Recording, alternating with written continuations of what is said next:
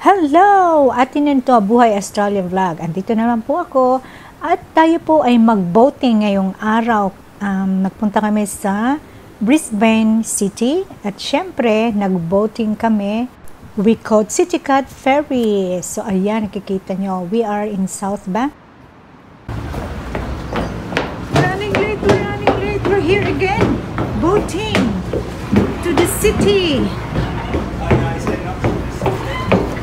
Are you serious?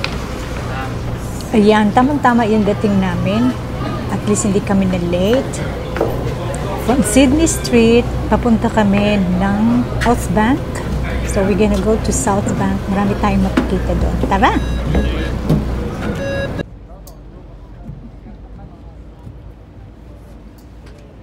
Kahit hindi siya sunny day, gusto ko pa rin siya dahil hindi naman umuulan at the same time, hindi masyadong mainit. So yan, yan ang itsura ng boat. Nasa labas na din kami. Siyempre, gusto namin ng fresh air. O, di ba? So, we're going to the city. We just caught a ferry. Ferry cat. Sydney Street, New Farm. Yeah. Are in the city.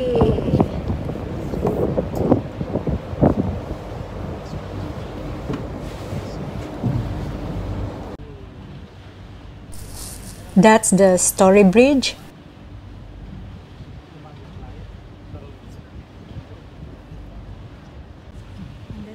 Meron ditong mahabang lakaran. If you want to jog, if you want to do biking, or just walking, yan, from there, yan, mahaba iyan.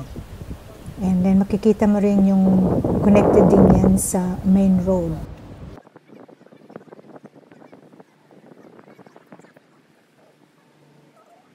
As usual, enjoy na enjoy ang aking asawa, lalo na sa ganitong um, ferry boat kasi nakikita namin ang city. So that's what you call kitty cat. Yan yung maliit na ferry, kaya tinawag na kitty.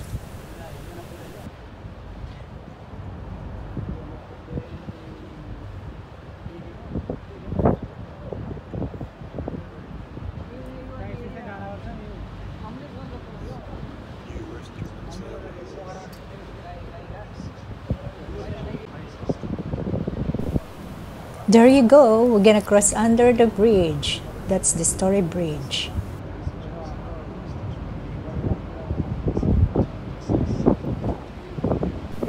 Ayan, kaya gustong gusto namin mag city, uh, punta ng city through Perry kasi very relaxing.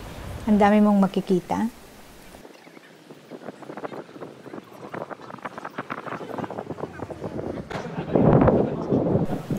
Now we can see a lot of buildings. So in the evening, nighttime, mas maganda siya dahil sa lights. So meanwhile, that's the view during the day.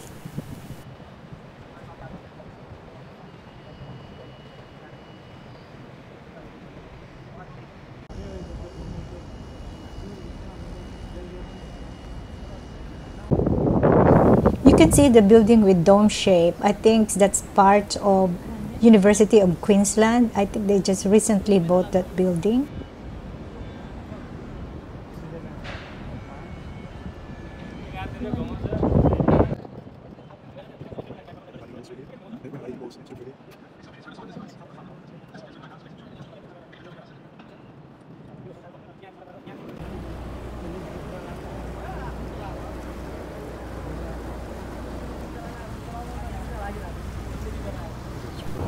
Good thing there's toilet inside the boat. Ayan yung um, itsura ng loob ng boat. So, halos karamihan nasa labas ang mga pasahero kasi mas gusto nila yung nakikita yung labas.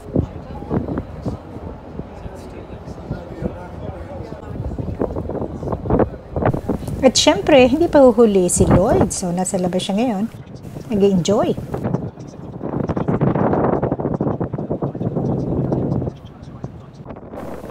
Siyempre, dapat i-video ko ang sarili ko para makita ang aking silver hair.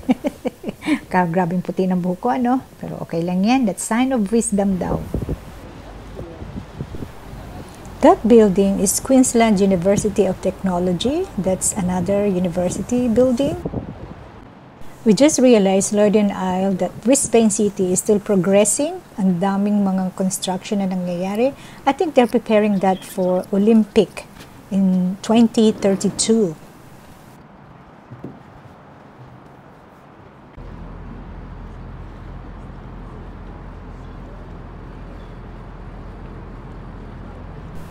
So that's another portion of pathwalk that you can do um, biking, walking, jogging. So napakahaba niyan.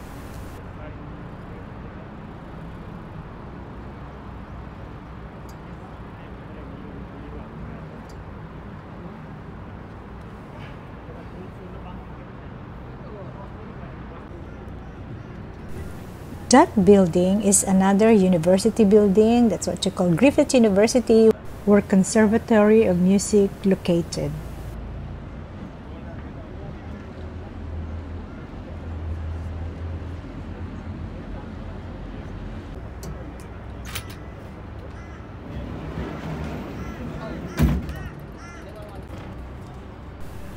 Ayan, malapit na tayong bumaba. So, we can stop in South Bank. Marami tayong makikita dito. You need to tap your Go card first before you leave. Kahit pagpasok mo, kailangan itap mo yung card.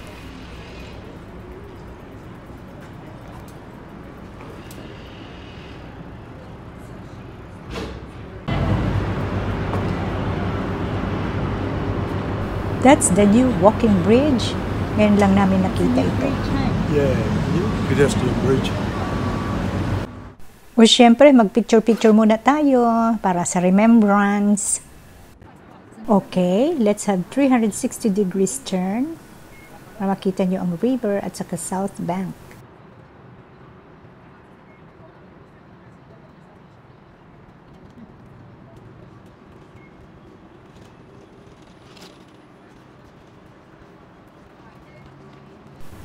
Itong lugar na to bago lang. Oh, May mga upuan siya. Dati wala niyan. May park din siya para pwede kayong maglaro as a family or friends. Then walking path.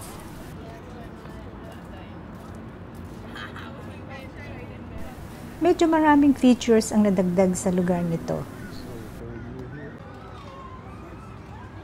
Let's have a glimpse of children's playground. Malaki ito. Pwede nating lapitan yan mamaya, pero hindi tayo papasok.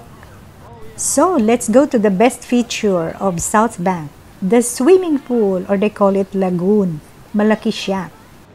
Of course, during summertime, maraming pumupunta dito. Family or any organization. Yan, may mga naglalaro.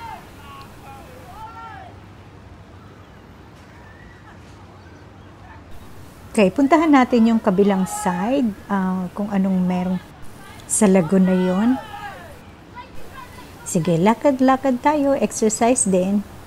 Kapag sinabing South Bank, ito yung mga makikita mo, yung bugambilyang yan. So, yan ang tatak ng South Bank.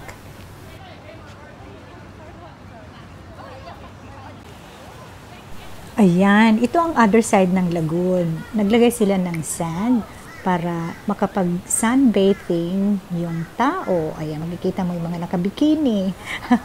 Pero maganda siya dahil um, um, para talaga siyang totoong beach. Ang ganda, no? Ang galing nila kasi dinedevelop nila yung mga ganitong klaseng lugar para makapag-relax yung mga tao. So sana sa Pilipinas ganyan din ano. Anyway, mali naman natin. Meron din naman dito mga restaurants kapag napagod ka, pwede kayong mag-lunch dito or mag-dinner. Merong ice cream parlor, pero hindi na kami pumasok kasi kailangan namin pumunta pa sa ibang lugar.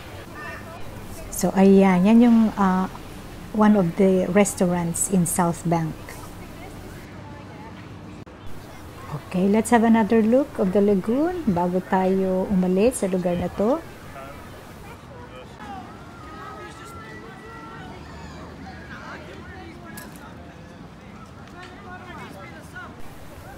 So ito ang entrance ng children's playground. Hindi na kami pumasok kasi hindi naman kami children. So ayan, mupok muna kami at nanood ng mga boats at kung ano-ano pa at nag-ice cream kami. So, that's the way of our South Bank escapade. So, ngayon, papunta na kami sa kabilang side, which is yung city.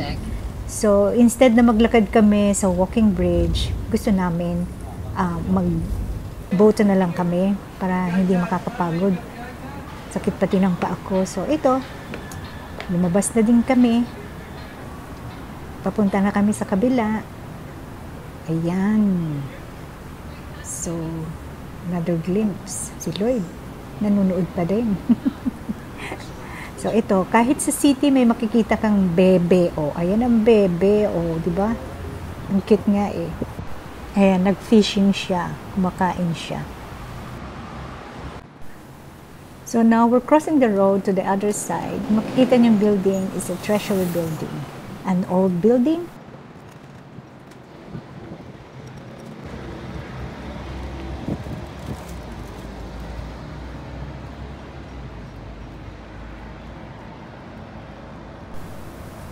So, kung nakikita nyo, yung may Ferris wheel, yan yung South Bank, doon tayo nang galing. And then, kung hindi kami nag-boat, tatawid kami sa tulay na yan kung saan nang galing yung bus. So, medyo malayo, kaya nag-boat na lang kami. Siyempre, picture-picture na naging video. At nag-lunch kami. Ito yung aking lunch, tinapay lang. Masarap naman siya. At ito naman ang lunch ni Lloyd. O, nag-steak siya. Gustong-gusto niyang steak eh. Ayan, o, di ba? Sarap. Kumain din naman ako ng konti lang. After lunch, lakad din kami, tingin-tingin sa shop, pero wala namang napili. Kaya ayun, bumalik na lang kami sa uh, where the boat is para pabalik na kami at uuwi na. Thank you sa pagsama niyo sa amin and walang sawang pagpapanood sa vlog ko. So sana po magustuhan niyo ito and please subscribe and like and comment na rin po. Thank you. Bye-bye!